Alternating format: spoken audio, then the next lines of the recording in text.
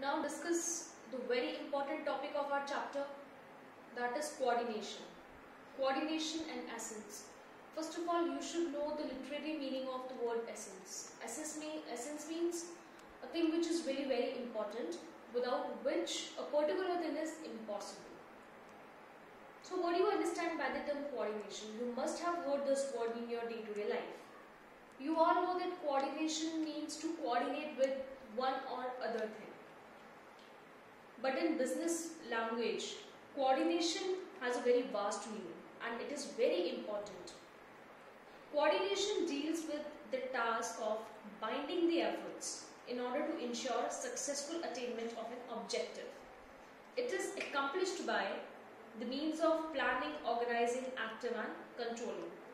It is nothing but just bringing various parts or movements into a proper required relation to ensure harmony there are a number of definition of coordination and out of them one I've quoted over here and that is coordination is to harmonize the activities of a concern in order to facilitate its working and its success. Coordination is the effort to assure a smooth interplay of the function and forces of all different component parts of an organization to the end that its purpose will be realized with a minimum of friction and the maximum of collaborative effectiveness. It can be achieved in the early stages of planning and policy making because later on it becomes difficult. You know that management has different functions, and these functions are planning, organizing, staffing, directing and controlling. These all function are, functions are baseless if no coordination is there. For their proper implementation and the proper success of all this function, the most important thing is coordination. If coordination is not present in planning, it is not present in organizing, if it is not present in staffing, then all this function will be failed. So for the proper success of the functions of management, these all functions should have what? Should have coordination. And I've told in the previous lecture that there are different management levels. So these levels are baseless if no coordination is there between the management levels. Obviously there is a coordination. That's why the lower management level, what does it do? It reports the problems of the workforce to the middle and the top management and it communicate the rules, regulation, the policies to the lower level. That is the non-managerial level to workers. So without coordination, the proper working of activities will not be there.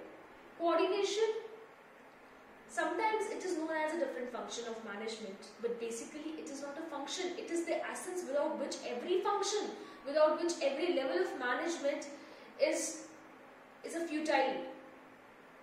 See, coordination is to bring harmony among different activities. It is to bring harmony of individual efforts towards the accomplishment of group goals. Sometimes a question comes that coordination is the essence of management, just prove it. So this is a very important question from examination viewpoint. So in that you just have to define coordination, you just have to give the concept of coordination, why it is important in all the different functions of management what are the functions? Planning, organizing, staffing, directing and controlling.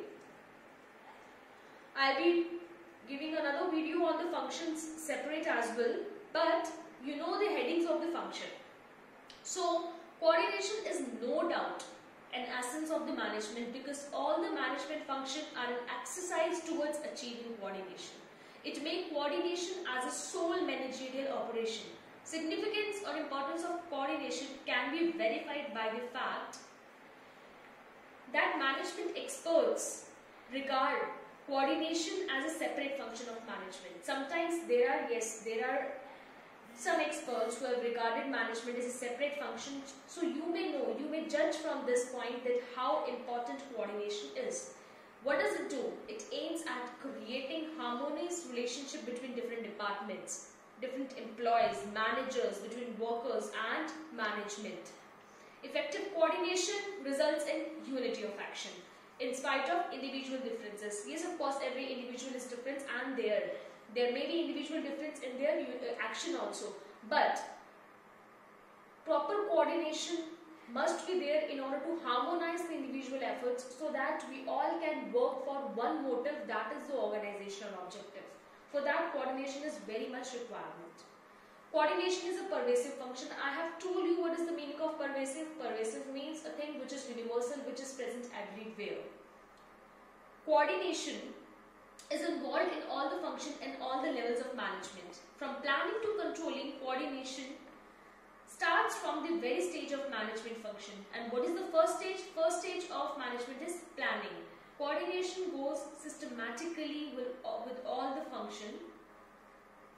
Coordination is also required in all group efforts. In all the organization at every level there are group efforts. Therefore coordination is needed at all the level due to the interdependent nature of activities assigned to various department and unit and to different level. Coordination is mainly concerned with ensuring that the organization is working the way it had planned to work. Coordination is achieved by deliberate managerial action, that is the functions of management. Planning, organizing, staffing, directing. It is a very important element of management because by virtue of which various individual differences and various individual functions are synchronized in a proper manner and that's why the organization is able to work efficiently and effectively.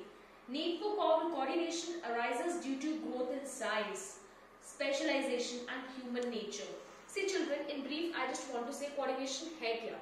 कुछ भी नहीं है different activities को harmonise करने के लिए सारे के सारे इंडिविजुअल डिफरेंसेस जो हमारी एक्टिविटीज़ में है जो individual people they have individual differences उन सबको रिमूव करके हमारे सारे के सारे एफर्ट्स को किसी एक डायरेक्शन में मूव करने को ही कोऑर्डिनेशन कहा जाता है अगर प्रॉपर कोऑर्डिनेशन नहीं होगा तो हमारे मैनेजमेंट के जो पाँच फ़ंक्शंस हैं, पाँच फ़ंक्शंस कौन से हैं? Planning organizing staffing directing and controlling ये पाँचों फ़ंक्शंस फेल हो जाएँगे। अगर प्रॉपर हमारे पास प्लानिंग नहीं होगी तो हम ऑर्गेनाइज कैसे करेंगे? प्रॉपर स्टाफ नहीं होगा तो ऑर्गेनाइजिंग का क्या फ़ायदा? अगर स्टाफ है तो उसको हमें डायरेक्शंस भी देनी पड़ेगी डायरेक्टिंग करनी पड़ेगी। और अगर प्लानिंग की है तो कंट्रोलिंग भी हमें करना पड़ेगा, ताकि हम नेक्स्ट ईयर की प्लानिंग को प्रॉपरली कर पाए, अपने डेविएशन जान पाए। बिना कोऑर्डिनेशन के मैनेजमेंट का फ़ंक्शन हो ही नहीं सकता। कोऑर्डिनेशन बहुत ज़्यादा इंपॉर्टेंट है मैनेजमेंट के लिए। So now you must understand that how important coordination is so the very important question which comes for coordination why it is known as essence why it is known as essence? And i have told you that it is very important, it is an essence, because if management cannot even start. Management start ही नहीं हो सकता coordination के बिना। Top level management को अगर middle level management को coordinate नहीं करेंगे वो प्रॉपरली तो उनकी डिफरेंट मैनेजमेंट लेवल होने का फ़ायदा ही क्या है? अलग अलग लेवल्स हैं अलग अलग डिपार्टमेंट्स हैं, उनमें कोऑर्डिनेशन होगा, तभी हम अपनी ऑर्गेनाइजेशन का गोल अचीव कर पाएँगे अदरवाइज़ हम अपने ऑब्जेक्टिव से डेविएट हो जाएँगे। हर कोई अपने वोटों के लिए काम करेगा, हम ऑर्गेनाइजेशन के लिए काम नहीं करेंगे, और एक दिन कंपनी बंद हो जाएगी।